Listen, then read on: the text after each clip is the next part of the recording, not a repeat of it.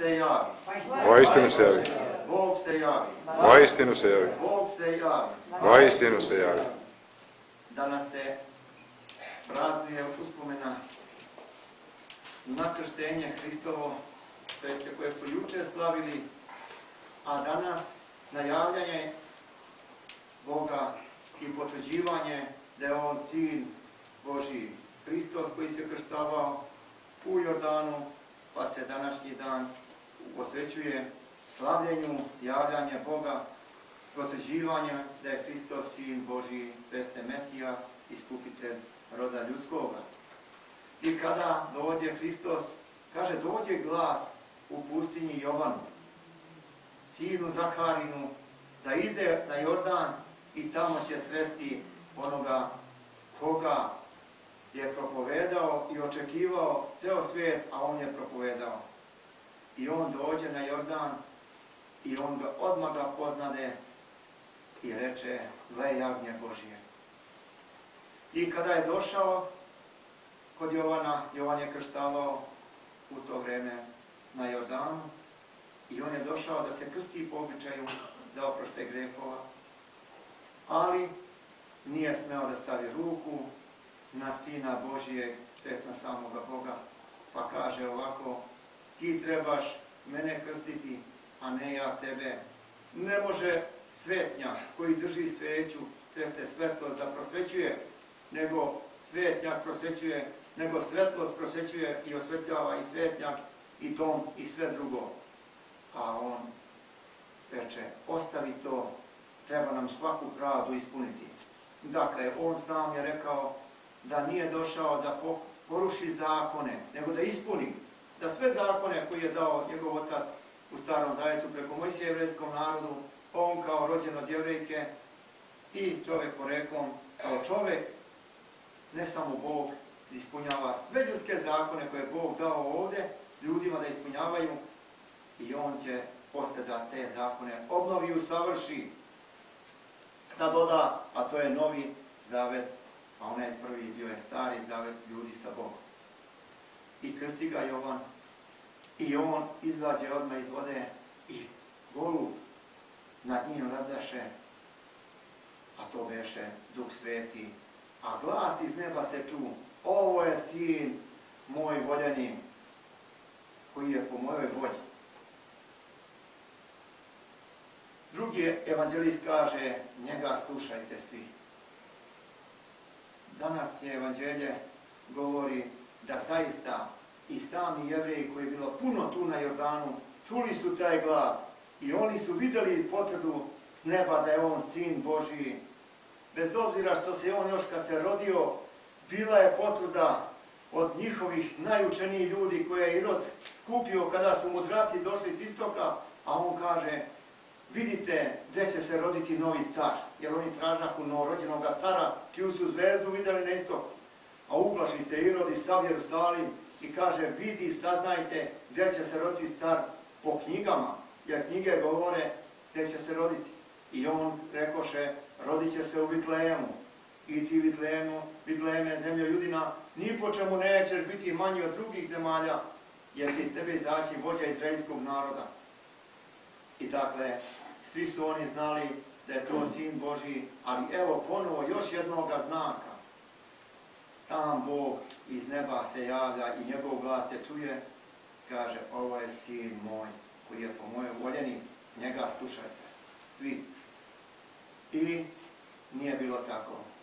Sin Boži, izašavši iz Jordana, iz reke, kršteni, kršteni, izvršiši sve svoje sve propise, koje je Bog dao u jevreskom narodu, da ga ni zašto ne mogu prekoreti ili osuditi jevreski narod, on je počeo da propoveda evanđelje svoje, da seje milost, da pruža ljubav svima, da isteruje svake nemoći, svake bolesti. A mi vidimo u prošlom, u nedelju kad smo čitali sveto evanđelje zadnju sedmicu, u nedelju teste, kako on otvara oči rođenome slepcu i kako on po svugde milost seje, i ljubav pokazuje i miri i onaj carinik koji je bio veliki grešnik i pljačkao sobstveni narod i u ime okupatora rimskoga i on se videši takvu dobrotu, on se kaje, on daje pola imanja svoga, da mu se oprosti greh, on je voljan da bude dobar.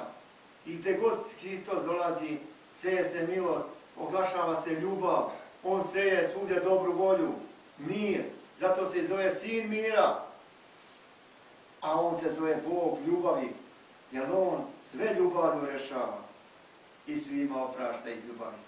Iz ljubavi je i došao na zemlju, kao što kažu današnje molitve prilikom osjećenja vode, došao si jer nisi mogao da gledaš kako đavo muči rod ljudski iz ljubavi i milosti.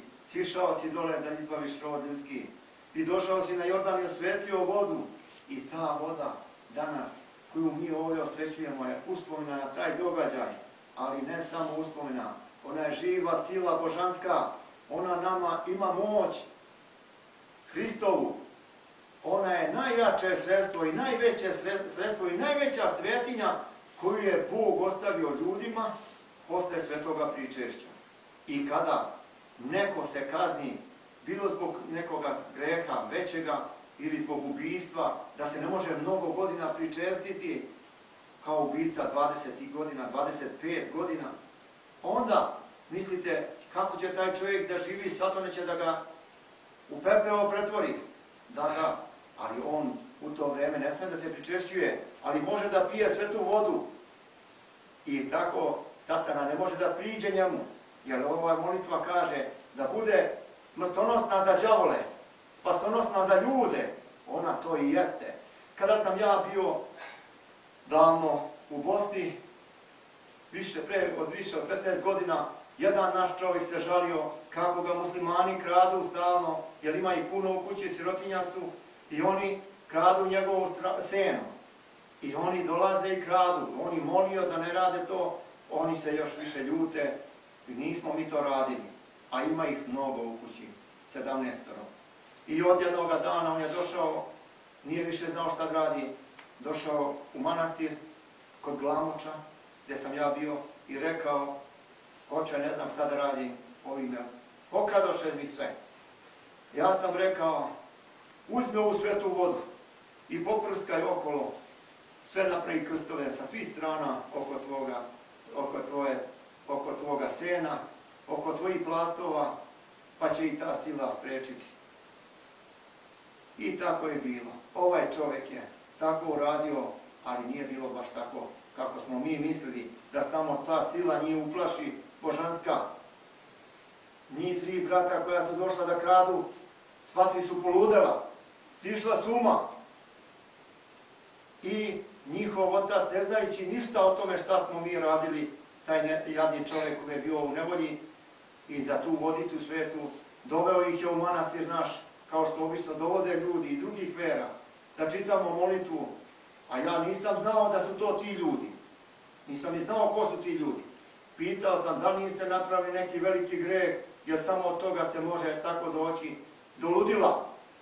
A on kaže, pa jesmo, mi smo siromašni pa smo krali od Srba, od Srba krali smo sena, pa nas je vjerovatno Sveti Sava kaznio.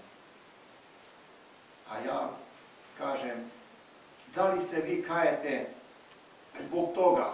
Kajemo se mnogo i nikad više nećemo krasti, mi ćemo tražiti ako treba, ali to je bio veliki greh da krademo tuđe i ja sam im proštao molitvu i oni su ozdravili svi trojica. To je bila velika manastir, taj bio je Svetom Jovanu Krstitelju posvećen. Velika svetinja, novi manastir, otvoren u tom kraju, nije bilo nikada manastir. I mnogo su dolazili muslimani i svi drugi dolazili su taj manastir. I vidite kolika je moć svete vode, a mnogo puta, mnogo puta se dešavalo da su ljudi prskali svetom vodom svoje livade, kada je napadala štetočine i da su svi otišli i su izumrli ili su pobegli dotle.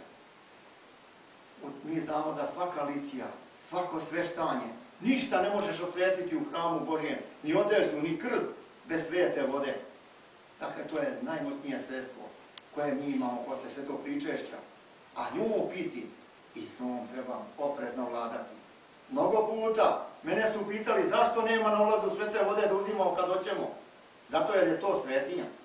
I ti ne možeš da uzimaš kad hoćeš. Tu svetinju može samo da daje